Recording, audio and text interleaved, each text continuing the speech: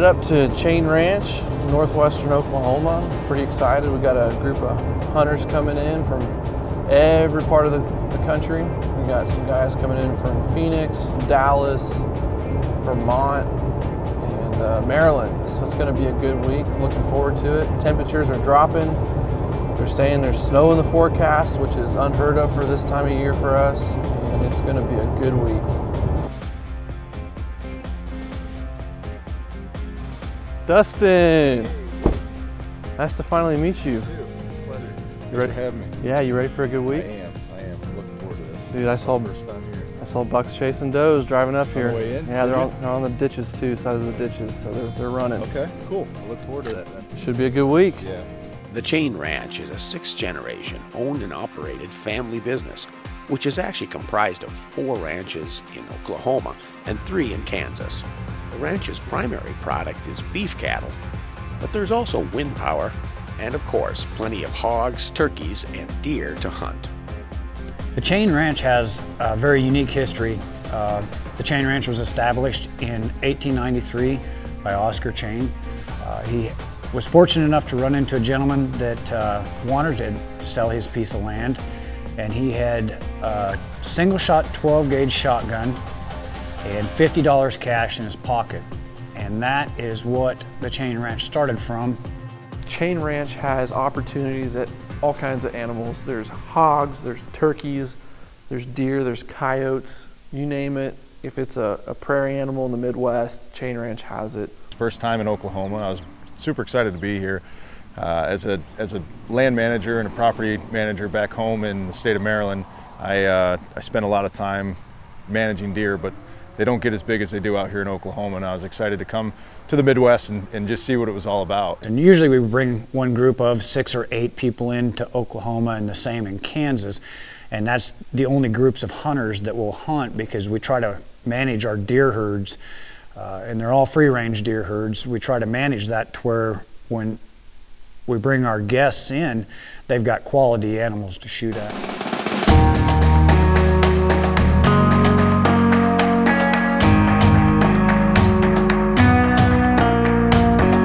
Day before everybody got here and we picked them up from the airport, the weather changed fast. We were expecting temperatures in the 50s, 60s all week.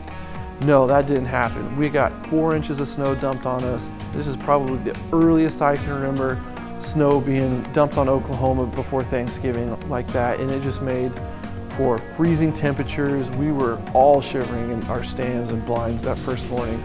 It's totally worth it.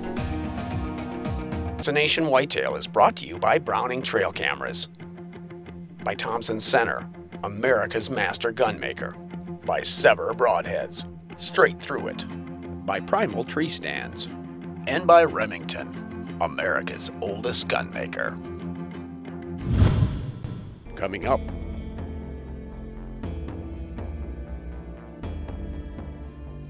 our first morning, um, yeah, we had a couple couple does come in. Uh, one came in just before shooting light, so we, you know, we watched her for a little bit, and she she came in and walked away. And you know, I, I told Abby, I said, you know, if that if that doe happens to turn around and come back in, you know, it, it's a legal shooting light, I'm I'm definitely going to take a shot at it.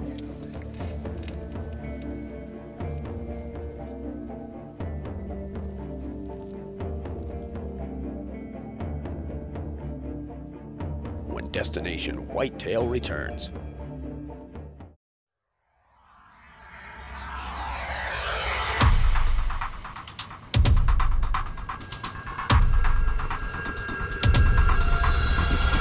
These are just some of the images you'll find here at the Chain Ranch near Canton, Oklahoma. But there's also a few more the ranch is known for. We came to the Chain Ranch in northwest Oklahoma because the uh, company I work for, we've been up here almost 12 times, 12, 13 times over the years, and we've always had good success on our hunts. Um, we, we've never left deer camp without almost everybody in camp successfully harvesting a buck. So we knew we had to get back up here.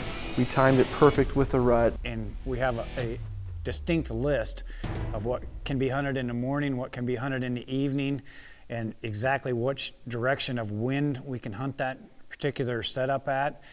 immediately you knew you were in good hands, and uh, it was a lot of fun. Just just just the ride and the talks, and that's you know what camp's about and what a lot of these trips are about.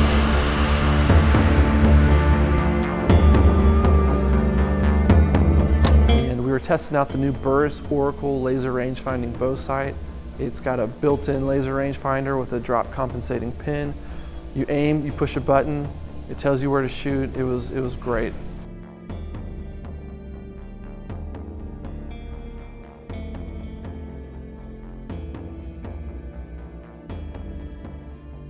Our first morning, um, yeah, we had a couple couple does come in. Uh, one came in just before shooting light, so we, you know, we watched her for a little bit, and she she came in, and walked away, and you know, I, I told Abby, I said, you know, if that if that doe happens to turn around and come back in, you know, it, it's a legal shooting light, I'm I'm definitely going to take a shot at it.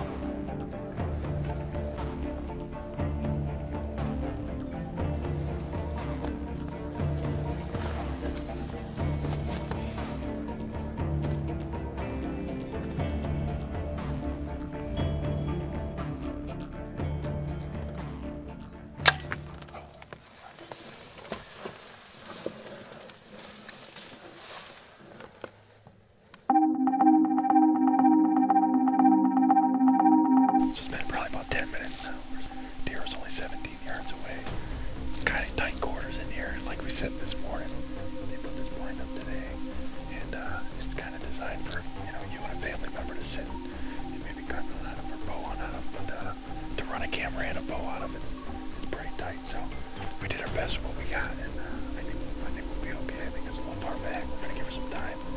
Super brisk, chilly morning. We've got fresh snow on the ground. We've got a doe down. I've got a buck tag left, and if a hog happens to walk in, we're gonna take a hog as well. So stay tuned.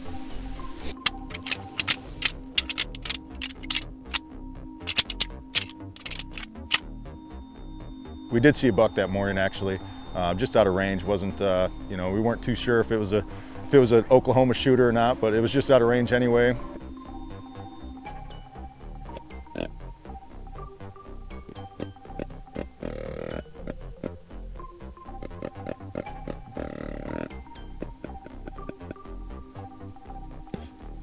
So we're just ending our first morning hunt here in Oklahoma. We've got a doe shot a little far back, but I think we're gonna be okay. We had a buck come in shortly after that doe came out and uh, touched up his scrape, gave us a little bit of a show. It was a little too far out of reach for us and uh, good opportunity for us to see some deer. I think they'll be moving this week. Temperatures are cold. We're getting out of the blind. We're gonna try to warm our feet. We're gonna head out and track this doe. So she's standing right about here. I was on the backside corner of that, that blind, so I would I'd have to think arrow. It, I mean, it was a full pass through. Have to come back here. That looks like a trace right there of an arrow. There it is, right there.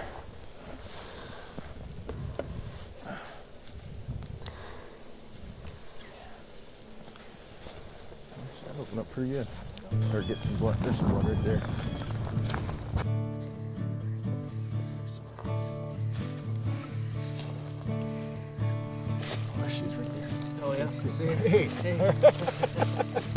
All right.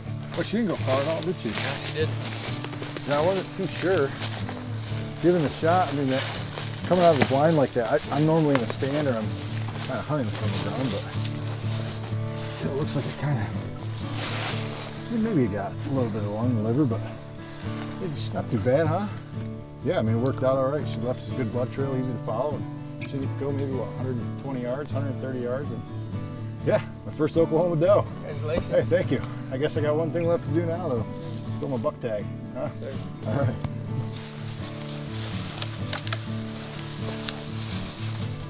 Visit sportsmansguide.com today and see why they're the place to go to get where you want to be outdoors. Find the very best deals on the latest gear for hunting, shooting, camping, and everything else under the stars to fuel your passion. Shop sportsmansguide.com. We're in the heat of the rut here at the Chain Ranch in Oklahoma. The ranch itself is 70,000 plus acres. We have a total of what we call seven different ranch locations. This is the main location right here. Uh, we're 10 miles west of Canton, Oklahoma. This morning they put us out on a spot called the Lucky Irish. They've had numerous deer taken off there in the past, nice bucks, and uh, it was our turn to sit in that spot.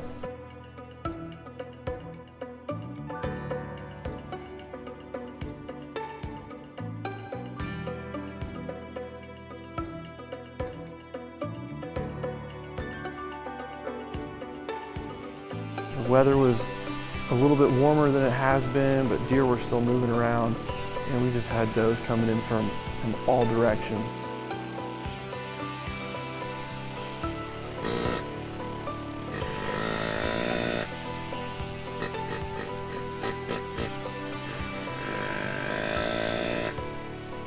We saw lots of activity this morning. We didn't have a buck come in, but we were bound and determined to go back there tonight, and that's what we did.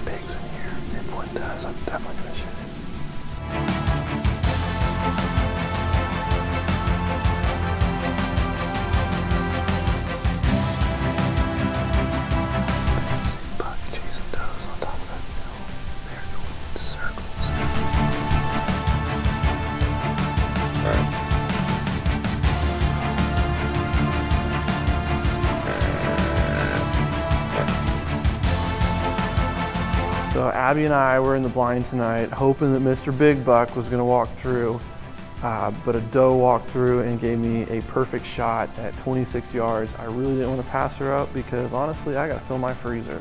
She was big.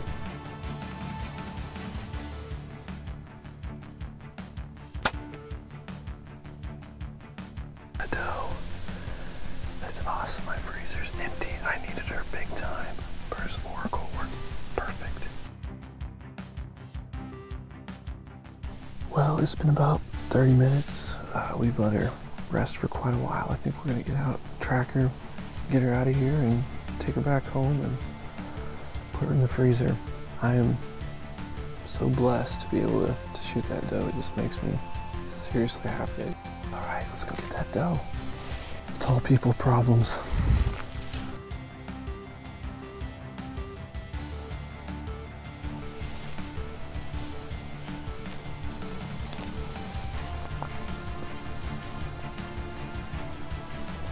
That's what we want to see.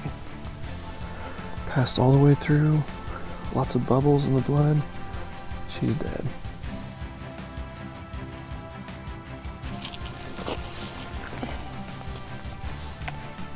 That way. Oh yeah, she's really starting to bleed. Hey, there she is right there. Can't believe she didn't bleed more than she did. That shot was perfect. You couldn't ask for a more ethical kill. She is gonna feed my family well. Whew. You know, for some people, this might just be a doe, but for a lot of people across the United States, this is food. This is what we eat. This is what we put on the table. And I can't be more thankful for this doe. I'm as thankful for her as I would be a massive buck, and that is true. Destination Whitetail is brought to you by Antler King, bigger bucks, healthier deer. By Scent Killer Gold with Hunt Dry technology. Apply it, dry it, and go hunt. By 10 Point Crossbow Technologies. There is no substitute. Get armed and deadly with Easton FMJ arrows. And by Mathews Archery. This is Deer Tech TV, the best in outdoor technology, powered by Browning Trail Cameras. Hello, I'm Ryan Hennig with Burris Optics, and today I'll be showing you the Oracle by Burris. Burris Oracle is a range-finding bow sight that gives you trajectory compensation. It's all aluminum construction with precision adjustments and locking adjustments on it. Uh, the beauty of the Oracle is that it'll range your distance and give you an exact aiming point when you program the Oracle, it'll learn the trajectory of your shot. The Oracle has a built-in inclinometer, so it'll automatically adjust for shots at a sharp angle down or up.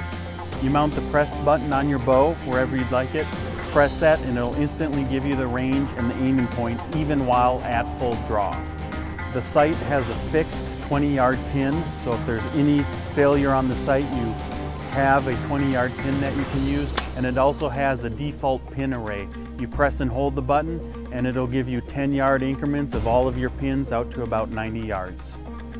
There is no glass to glare, fog or scratch so it's a very field worthy sight and we've had great success with it in the field.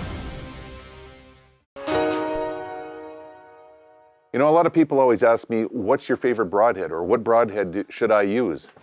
The answer is simple. It's the one you have the most confidence in. I always say that because if you have confidence in a broadhead, chances are it's going to get the job done or it has in the past and will in the future. However, if you don't have a confidence broadhead yet, the new Sevr is worth checking out. Look at this bad boy. Titanium, rear deployed. Look how compact it is. Chisel point, I love a chisel point in any broadhead, but when those blades come out, it rips a hole. I shot a deer last year in Nebraska with the prototypes for these, and I could not believe the hole it put in the deer.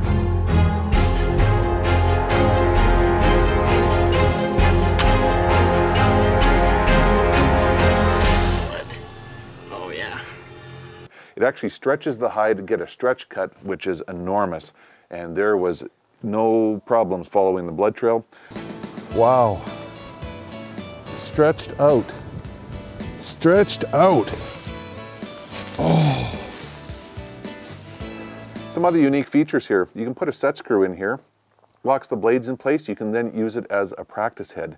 You don't have to guess whether the practice heads are the same as the broadhead. You can use the same broadhead, make sure that it stays sharp. With the titanium, you really don't have to worry about that. And away you go. Uh, easy components. You can replace the blades, and there's your tools: an Allen key and uh, a blade wrench. It's that simple. Yeah, 2.1 inch cut titanium Sevr. If you haven't checked them out, sevrbroadheads.com. Hey, this is Clint with Sevr. We're here in Illinois, um, hunting at Performance Outdoors and chasing some monster whitetails.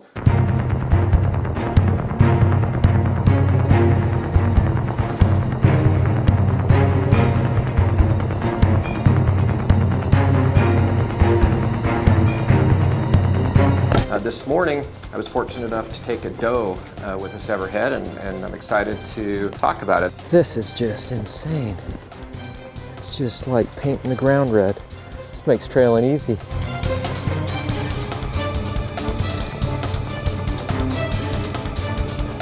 It's the first animal we've taken with the head, and it performed fantastic. Clean kill on the heart, broke the far shoulder. This is our new Sevr all-purpose 1.7 inch head. It is different from the original Sevr 2.1 inch head for a couple reasons. First of all, the ferrule is an aluminum ferrule and it has a stainless steel tip. We did this so that we could uh, bring the price down and, and have a little bit more affordable choice for people who want uh, a, a more of a value priced head. Um, then the head is, differs in its features a little bit. It's instead of a 2.1 inch cut with the original Sevr, this is a 1.7 inch. Um, also the blade angle is more swept back. I'm going to hold up an original Sevr here and you can see just the difference in the two heads. The blade angle on the all-purpose head um, is a little bit different blade angle there. If you're a short draw shooter, if you're a lower poundage shooter, um, if you're hunting a bigger animal, bigger, thicker skinned animal, and you care more about penetration versus a big hole. You know, I personally, I'm, I'm a big hole broadhead guy. I personally prefer the 2.1, but I've been getting a lot of people, especially elk hunters back west, that want a smaller diameter cut broadhead. um, for you know bigger animals because they value penetration. You know, our tagline is straight through it, and you know, as I've seen it over and over in the field, the arrows just go straight through the animal. There's no deflection. You can take steep quartering shots, and the performance is just very predictable. And so, if you haven't had a chance to try some Sevr heads yet, I encourage you to visit our website at sevrbroadheads.com.